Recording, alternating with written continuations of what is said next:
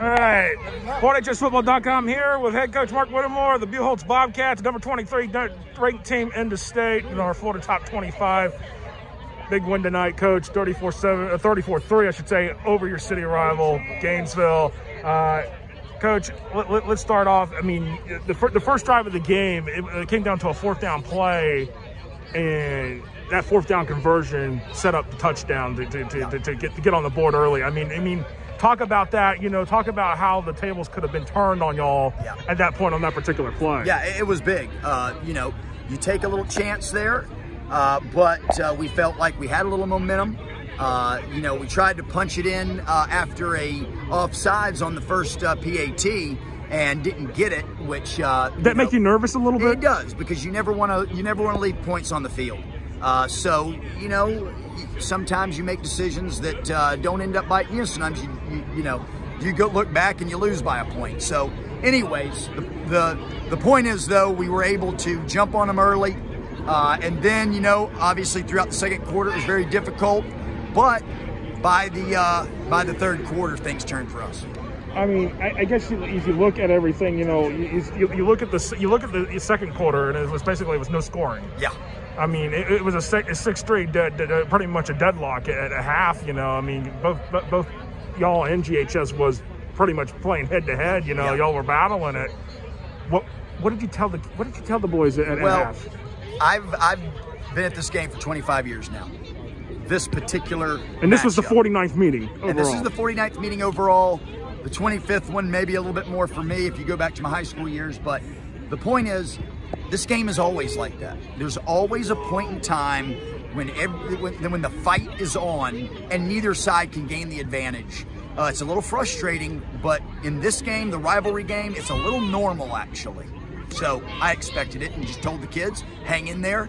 We're gonna keep, you know, we're gonna keep, keep persevering. Okay, your son Creed did a lot of things on the ground tonight. You know, took, took, took things into his own hands, but you also got Quan Lee involved, uh, Marius Hell, he got involved, and I think, you know, you, as you were telling some other people, he was coming out of his shell tonight with him. No, no doubt. Very excited about him. He showed a great burst, great speed, great tenacity, uh, uh, uh, a lot of balance tonight. So very excited about that piece of the puzzle moving moving into the you know last four games. I mean, and, and let's talk about special teams because special teams was huge tonight in this game not only with the kicking game, you know, you know, a lot, a lot of drives stood for for for GHS starting on the 20 instead of them returning the ball. The punts were de definitely good. Maybe maybe one miscue on a punt, you know, or it was you know in, in that situation. But for us, I, but I think that I think the biggest thing for y'all was the two punt return touchdowns tonight. No. That was huge. Well, and, and I, I, will say, Josh, it was. Uh, you know, we shanked the first punt of the night. And that was only like, it was, it was like about, the, only 10, about 10, 15 yeah, yards they got most. three points out of it. I do believe. Wanna, Maybe. Let me, let me, I'm looking at my drive I'm not chart. sure if they actually got three points out of that yet. Anyways, we were able to get points out of their punt game. And although we, we messed up the first punt, uh, we were able, from there on out, we were able to punt pretty handy. We, I think we averaged 34 to 35 yards a punt. So you know, that's good. That, that, that that's a good average for a, a, a defensive tackle who's punting. I mean, and, and, talk about your punter because you know, I mean, you know, that's you know, for, for defensive tackle punting, that's uh, that's definitely not uh, heard of. Usually, usually, usually, it's the kids that are playing soccer that are punting out there or doing that's the right. kicking the field goal. So that's talk about right. it. Talk. Yeah, I mean, he's just a he's just an athletic kid. He shoots threes on the basketball Colson team. North, Colson North, and just just does a great job. Love the kid.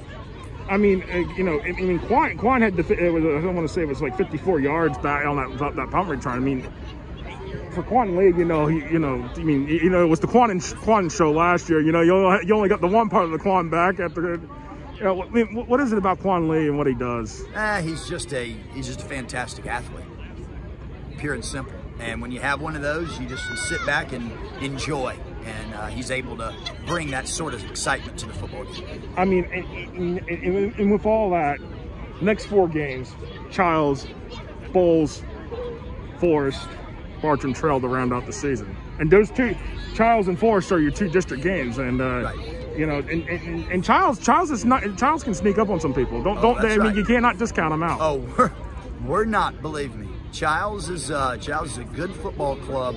Uh, they have been for years and they're able to beat. A And they got a vet, they got a veteran coach in this state, Yes, Kevin. Pettis. Yes, and so we're we're in no no uh, no way, shape, or form are we taking them lightly. I mean and that, and then of course Bolles. And if we remind people, Bull- that Bolles game will not be in Gainesville at all. It will be in Starke That's at right. Bradford High School That's at the neutral site. That's right.